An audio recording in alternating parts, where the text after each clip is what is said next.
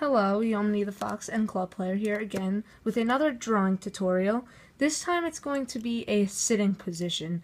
As you can see I already drew the head because you can, I don't want to waste your time, you could just go to the other drawing video and learn how to draw the standing position where I also show how to draw a head and wings and stuff like that. So this is the, the, the, the sitting position.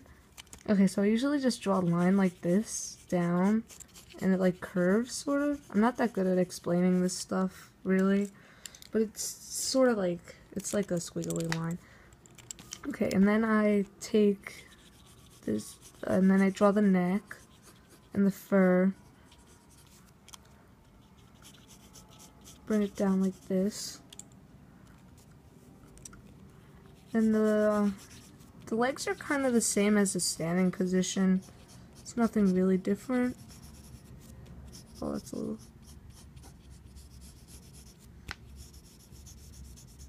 Pretty much the same, the two legs. Okay, so now the back and the legs. Just repeat over this curve, uh, not like directly over it as you can see, but a little bit further away so you can make the body. You can make the body as thick or as thin as you want. And now to draw the sitting like legs, usually draw it up like this. Like a U sort of. And yeah. So sometimes I draw a line to see where the other feet are. So it could be in line with that. And like the other leg you can't really see, but I usually just draw a little like that. And then the leg behind that one. So like that a little. Then uh, the foot, it's, it's not really, it's just, just draw a little shape like that. And Then I continue with the back, go in like that, and then a little bump like that for the back of the foot. And the little lines for the feet, paws, and then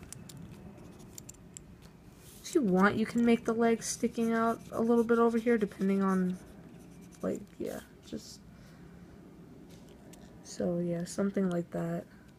And the tail.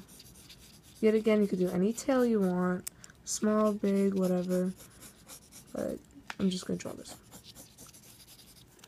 that's pretty much how you do a sitting position. Um, this one was obviously way shorter than the other one, but it's it's pretty easy. It's not that hard, so. But if you want any more drawing tutorials, just comment below, and I'll make them eventually. Okay, bye.